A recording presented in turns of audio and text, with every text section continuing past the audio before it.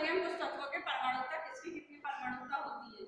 सब तत्वों के प्रकार, सबसे पहले हम देखेंगे अधातुओं के, उसके बाद देखेंगे हम धातुओं के। अधातु कौन कौन से? आर्गन। आर्गन कैसा है? एक परमाणु रूप में पाया जाता है। आर्गन का क्या है ए आर। हीलियम।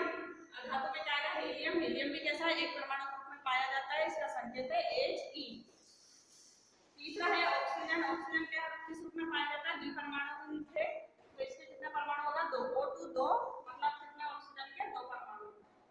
हाइड्रोजन कैसा होता है? द्विपरमाणु होता है ये भी तो ये क्या लिखा हमने? H2 संकेत।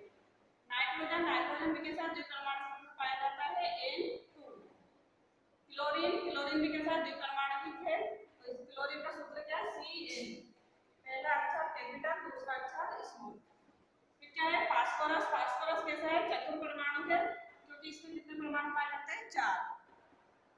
सल्फ़र सल्फ़र भी कैसा सल्फ़र बहुपरमाणुक है, इसलिए इसका इसका संकेत क्या है S6 सोडियम सोडियम क्या है? एक परमाणु तो सोडियम Na.